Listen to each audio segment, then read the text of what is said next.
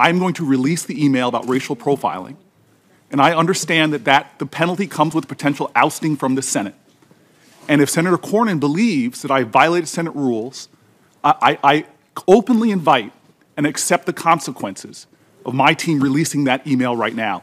And I'm releasing it to expose that number one, the emails that are being withheld from the public have nothing to do with national security. Now, I appreciate the comments of my colleagues. This is about the closest I'll probably ever have in my life to an I am Spartacus moment.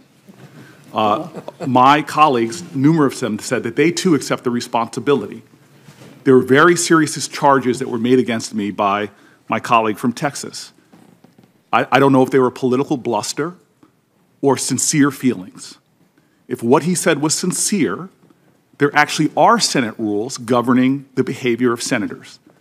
If he feels that I, and now my fellow colleagues who are with me, have violated those rules, if he is not a tempest in a teapot, but sincerely believes that, then bring the charges.